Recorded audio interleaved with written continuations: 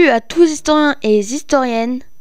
C'est la petite histoire. J'espère que vous allez bien. Car moi ça va super. Aujourd'hui on se retrouve pour une nouvelle vidéo qui aura pour thème la résistance autour de Vimoutier. Quand a eu lieu le début de notre histoire? Prenez place dans notre machine à voyager dans le temps. Notre destination, la Seconde Guerre mondiale. Le 3 septembre 1939, la France et le Royaume-Uni déclarent la guerre à l'Allemagne, dirigée par le chancelier Hitler. Le 14 juin 1940, les Allemands entrent dans Paris. Le 17 juin 1940, le maréchal Pétain appelle à cesser le combat. Je vous laisse écouter le discours. Ici, Radiodiffusion nationale de l'État français. Mesdames, Messieurs, Monsieur le maréchal Pétain, président du Conseil des ministres, vous parle. Français, à l'appel de Monsieur le Président de la République, j'assume à partir d'aujourd'hui la direction du gouvernement de la France. Sûr de l'affection de notre admirable armée qui lutte avec un héroïsme digne de ses longues traditions militaires contre un ennemi supérieur en nombre et en armes. Sûr que par sa magnifique résistance, elle a rempli nos devoirs vis-à-vis de nos alliés. Sûr de l'appui des anciens combattants que j'ai eu la fierté de commander de la confiance du peuple tout entier. Je fais à la France le don de ma personne pour atténuer son malheur. En ces heures douloureuses, je pense aux malheureux réfugiés qui, dans un dénuement extrême, sillonnent nos routes. Je leur exprime ma compassion et ma sollicitude. C'est le cœur serré que je vous dis aujourd'hui qu'il faut cesser le combat. Je me suis adressé cette nuit à l'adversaire pour lui demander s'il est prêt à rechercher avec moi, entre soldats, après la lutte et dans l'honneur, les moyens de mettre un terme aux hostilités. Que tous les Français se groupent autour du gouvernement que je préside pendant ces heures, pendant ces dures épreuves, et fassent taire leur angoisse pour n'obéir qu'à leur foi dans le destin de la patrie. Le lendemain, le général de Gaulle part à la BBC de Londres l'appel du 18 juin 1940, où il demande à tous les Français libres à continuer le combat et de résister contre les Allemands. Je vous laisse avec le discours de De Gaulle. L'honneur, le bon sens, l'intérêt supérieur de la patrie commandent à tous les Français libres de continuer le combat là où ils seront et comme ils pourront. Il est par conséquent nécessaire de grouper partout où cela se peut une force française aussi grande que possible. Tout ce qui peut être réuni en fait d'éléments militaires français et de capacités françaises de production d'armement doit être organisé partout où il y en a. Moi, Général de Gaulle, j'entreprends ici, en Angleterre, cette tâche nationale. J'invite tous les militaires français des armées de terre, de mer et de l'air. J'invite les ingénieurs et les ouvriers français spécialistes de l'armement qui se trouvent en territoire britannique ou qui pourraient y parvenir à se réunir à moi J'invite les chefs, les soldats, les marins, les aviateurs des forces françaises de terre, de mer, de l'air, où qu'ils se trouvent actuellement, à se mettre en rapport avec moi. J'invite tous les Français qui veulent rester libres à m'écouter et à me suivre. Vive la France, libre dans l'honneur et dans l'indépendance. Aujourd'hui, je vais vous parler de trois personnages. Le premier personnage s'appelle Pierre Annick, né le 3 juillet 1904 dans le Morbihan, et mort en 1944 pendant le bombardement de Vimoutier, dont j'ai parlé dans une vidéo. Il a intégré la gendarmerie en, 1934 et il, a, et il est recruté à la 3e Légion de gendarmerie, section d'Argentan et gendarme à Vimoutier en 1940. Le deuxième personnage s'appelle Joseph Ledor, né en 1902 et mort en 1980. Il était directeur du collège Notre-Dame, qui est devenu par la suite une école privée Notre-Dame. Joseph Ledor se trouvait à Musilac, dans le Morbihan, lors des événements du juin 1940. Il reviendra pas longtemps après à Vimoutier. Par la suite, il fera équipe avec Pierre Annick. Le troisième et dernier personnage s'appelle Pierre Samin, né en 1921 et mort en 2017. Il était oreiller mécanicien à l'entreprise Rébulard, à Vimoutier. En 1940, Pierre Samin s'engage à l'école des mécaniciens d'aviation, qu'il doit intégrer le 1er juillet 1940. À cause de l'invasion allemande, l'école de mécaniciens d'aviation doit évacuer vers l'Angleterre, mais Pierre Samin ne part pas alors il retourna à la ferme de ses parents à Camembert, c'est là où il était en 1940.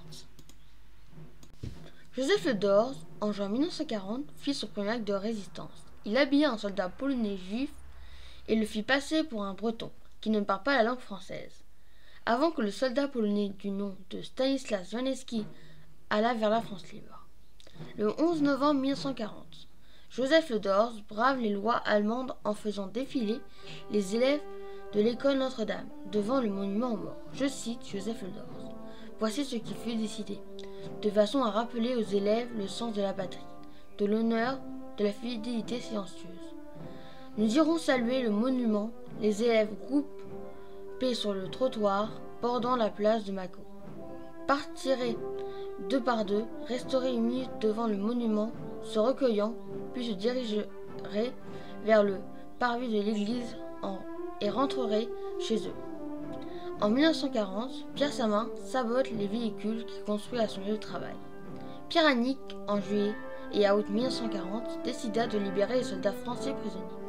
En juillet 1940 jusqu'en janvier 1941, Pierre Annick cache un Britannique du nom de Walter Phillips, soldat qui ne s'est pas fait attraper par les Allemands pendant leur avancée. Pierre Annick déplaça déplaça souvent le soldat dans différentes fermes autour de Vimoutier. En 1941, Joseph Ledors a créé une opposition contre les Allemands. Ceux qui y participent sont Pierre Annick, Fouguet, le boulanger Rotrou, Henri Bunel, Pierre Samin et Béron. Pierre Annick et le facteur Orlet détruisent les lettres destinées aux Allemands. Au printemps 1941, Pierre Samin et son ami Henri Bunel respectent les consignes données par Victor de Lavelaille de PBC. Victor de Lavelaille une campagne s'appellera la campagne DV. La lettre signifie Virgin, ce qui veut dire en néerlandais la liberté et en français la victoire. La mission était de mettre des V partout. Le 11 novembre 1941, pendant la nuit, Pierre, pendant la nuit, Pierre Samin et Henri Bunel hissèrent les couleurs nationales au monument aux morts de Vimoutier alors que la loi allemande l'interdisait. En juin 1942, Bernard Gauthier, ancien élève du collège de Vimoutier, réussit à rejoindre l'Espagne et l'Angleterre grâce à des informations données par son ancien professeur Joseph Ledors. Par la suite, Bernard Gauthier sera recruté par les forces françaises navales libres et fera le débarquement de Provence. Pendant ce temps-là, Joseph Ledors écouta les conversations des Allemands qui étaient dans son collège. Avec l'aide des gendarmes, cinq messages sont envoyés par Pigeon Voyageur à Londres. À partir de 1942, avec Joseph Ledors, Pierre Annick créa, des faux papiers pour les Juifs pour éviter qu'ils se fassent emprisonner et torturer par les Allemands. En 1942 et, en 1943, Pierre Samin entreprend une relation avec le gendarme Pierre Annick, qui, qui distribua de la presse clandestine, surtout résistance et défense de la France. Pierre Annick et Samin sont contre le STO, service du travail obligatoire. Il se cache et devient pucerant. En juin 1943, Pierre Annick devient l'adjoint de Joseph Dors, qui est venu de créer un groupe de résistance à l'unité. En juin 1943, Joseph Dors rejoint l'OCCM, Organisation civile et militaire, et crée un groupe d'une trentaine d'hommes à l'unité. Joseph Dors, avec l'aide du pâtissier Boussin, qui avait des contacts en région parisienne, Joseph d'Or créa de faux papiers et distribua de la presse, clandestine. En septembre 1943, Pierre Samin, avec l'aide de Pierre Annie, réussit à rejoindre l'OCCM. La mission de, Pierre Samin était de remettre en état des armes abandonnées par les forces françaises en 1940. En janvier 1944, lors du meurtre de, Le Chat, qui était un collaborateur tyrannique, arriva à cacher un élément de pistolet pour qu'on ne connaisse pas les résistants. En mars 1944, Joseph Dors participe à une construction d'un dépôt d'armes à la ferme Bougo, dans le village de Cutenson. Le 6 juin 1944, Joseph Dors, avec l'aide de ses hommes, coupe les lignes téléphoniques aériennes et casse les panneaux indicateurs. Joseph Dors, Pierre, Annick et Dorian vont au carrefour de Lisieux pour arracher les panneaux.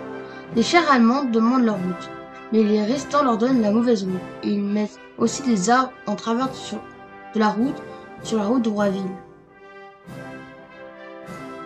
Pendant la nuit du 8 juin, ils détruisent un camion allemand grâce à des mines dans la route d'Argentan. Le 9 juin, Pierre Samin a une nouvelle mission, celle de faire la communication dans le secteur avec les responsables. Le lendemain, Pierre Annick détruit le câble souterrain entre Falaise et Argent et, Berny. Le 10 juin, Pierre Samin détruit la ligne SNCF entre Saint-Goburge et le Mesnil-Maugère. La nuit du 13 au 14 juin, il détruit le pont de chemin de fer de la côte de Gassé. On voit bien que toutes ces actions ont pour objectif de ralentir le retour des militaires allemands vers les côtes normandes et vers les zones de combat. Le 14 juin, Vimoutier est bombardé. Le gendarme Annick part secourir les blessés, mais il est tué par une bombe. Il va malheureusement l'ensevelir. Pierre Samin, lui, est enseveli quelques jours. Il est dégagé blessé et plein de boue. Le 24 juin, la Gestapo fait une rave dans la région de. Joseph Dors se réfugie dans le Calvados depuis l'Isor. Il organise des attaques de véhicules. 26 camions et, et 4 motos sont soit détruites, soit endommagées, et eu 8 morts chez les Allemands. En août 1944, Joseph Dors et Pierre aident les Canadiens, les libérateurs de Vimoutier, pendant leur opération. Fin août, il organise des opérations de ratissage qui permettent de capturer 326 Allemands et beaucoup de matériel. Les libérateurs se dirigent maintenant vers Paris et le reste de la France. Pierre Savin s'engagera en octobre 1944 au régiment de la Sarthe. Ça fait cette vidéo, j'espère qu'elle vous aura plu et appris plein de choses. Ce qui m'a plu dans cette vidéo, c'est que ces trois personnages ont fait beaucoup de choses pour la libération de Normandie. Ce qui m'a le moins plu, c'est que la vidéo a été très dure parce qu'il a fallu faire beaucoup de recherches, par exemple pour la campagne des En plus, la résistance a été un sujet très difficile. N'hésitez pas à vous abonner et à liker la vidéo, cela m'encouragerait beaucoup.